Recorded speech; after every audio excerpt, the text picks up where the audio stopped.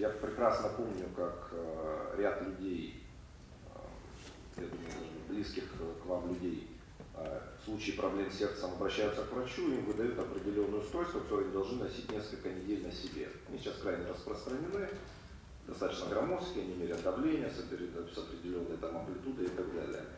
Э, количество вещей, которые нас вынудят носить страховые компании, допустим, медицинские, будет достаточно велико, потому что стоимость э, услуг, допустим, по медстрахованию будет напрямую зависеть от того, какое количество информации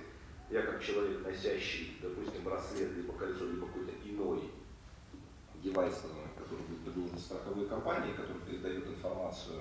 страховой компании, крайне важен, потому что от этого будет слагаться стоимость. Потому что сейчас стоимость по медстрахованию, она определенным образом, мы платим еще и за того парня,